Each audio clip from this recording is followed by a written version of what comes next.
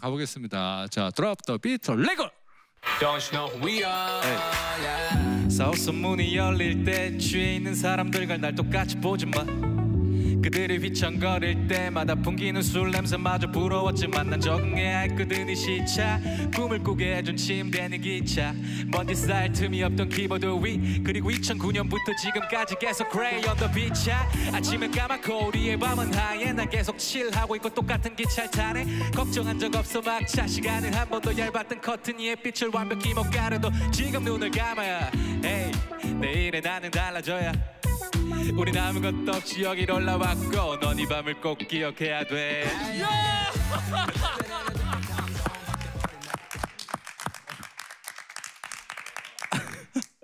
아, 되게 쑥스러운 것 같아요. 너무 잘하잖아. 지금 봤어요? 들었어요? 특히 우린 지금 달라져야 해거든요. 어떤 테크닉은 달라져야. 아 그런 거 아, 저 그랬나요? 아, 저, 너무 잘하는데? 어 진짜 혹시 음반 낼 생각 없어요? 아, 도와 도와주시면은 어 그래요? 아, 만들고 싶어요.